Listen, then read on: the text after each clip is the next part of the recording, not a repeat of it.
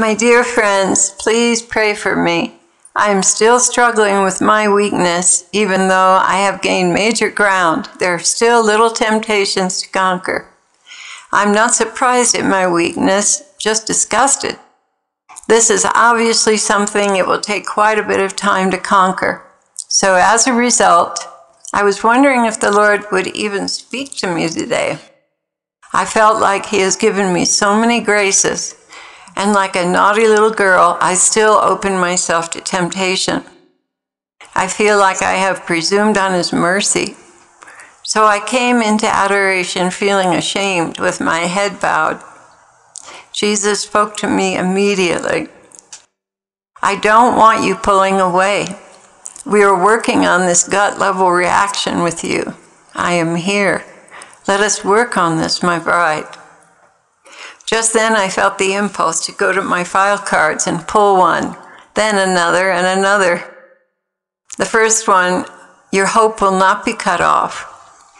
Well, what is my hope? My hope is that Jesus will continue to stay close to me. Number two, in my divine image, I have made you. And it had a picture of a crown. So I felt lifted up from my mud puddle. He is still with me, miracle of miracles. So it is safe to listen and even talk to him, because normally I'd withdraw. Number three, haven't you seen enough of yourself to convince you that you have no cause to raise yourself up to pass judgment on others? Bingo, I get it. I open the door to temptation by the sin of judgment. I get it, Jesus. You're right. I have judged. But how to handle situations that seem very toxic from the outside looking in, especially when you mention there's lying going on? He replied, I expect you to come to me and ask me to reveal to you the details, and at the same time pray for them to be convicted. You are a mother, not a victim. All of you have some child in you, but your job is not to judge, but to encourage and lift up, admonish, and stand beside the weaker ones. There is a certain edge of condemnation that accompanies judgment. That's where the sin lies. You can see the sin, but you've passed judgment on the sinner. That is why I must let you fall flat face down into your own mud puddle. See the sin, realize you're no better, and come to me for answers. If you do not get the answers you're looking for, be patient and supportive with the soul. In time, I will reveal much to you.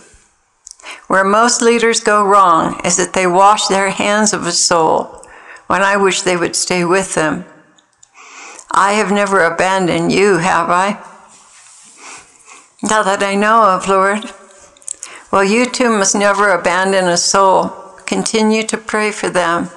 It may take a whole lifetime, but your prayers will be part of my solution, both for your state, state of mind and for them. I do not wish to see seeds of bitterness in my brides. The flowers in the garden of your soul, which I have planted, are very delicate. Bitter roots grow into bitter trees. Bitter trees bear bitter fruit, which puts out a noxious odor that can wilt every flower in your garden. Once more, this is not a little plant, it's a tree with roots that spread into every corner of the garden and a top that is bushy with thorns and casts shadows where there should be sunshine. Oh, do you see, Claire? Bitter, bitter, bitter is judgment, and it leads to death. It's deadly poison that invades a garden and will in time cause every beautiful flower and fruit tree to wither. Is this what you want? No, Lord. Well, look at your garden, beloved.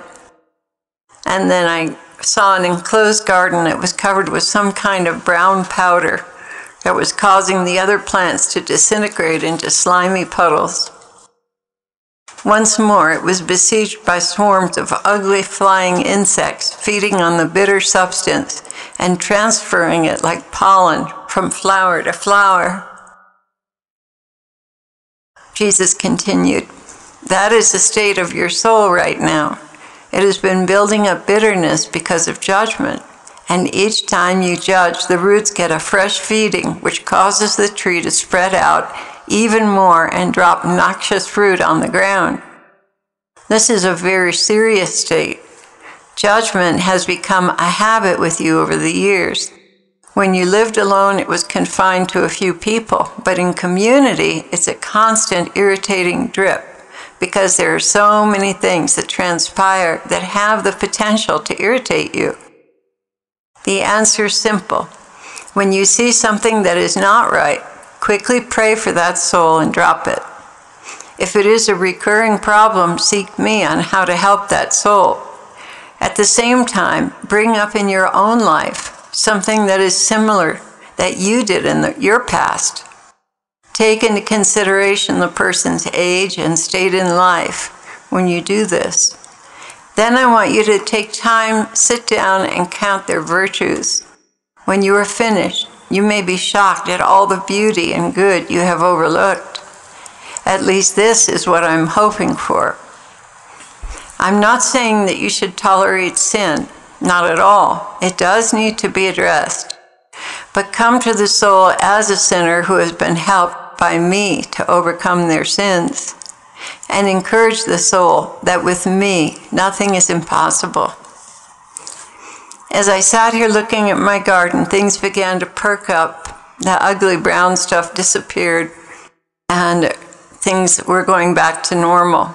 And Jesus said, When you see the truth and repent, Bitterness is burned away by the light of truth. A candle on a hilltop cannot be hidden. But virtues and gifts can be hidden and inoperative under a cover of sin. Always see others as better than yourself. Not only is this healthy, it is true. You have no idea what kind of soul you would be right now if you had gone through what another has gone through with the limited resources they were born into. Bitterness kills, kindness brings life.